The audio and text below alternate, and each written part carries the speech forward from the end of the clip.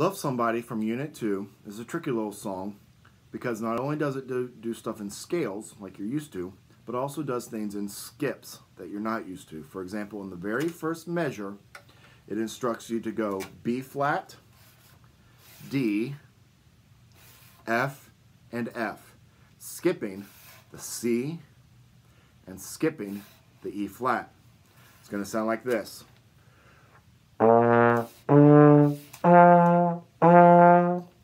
Pause the video and practice that quite a bit of times, quite a few times until you get it right.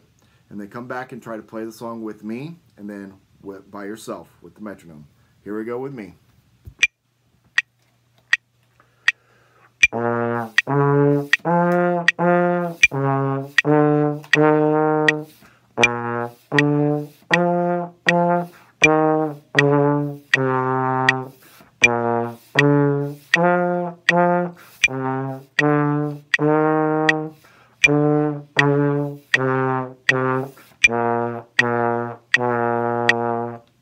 Good.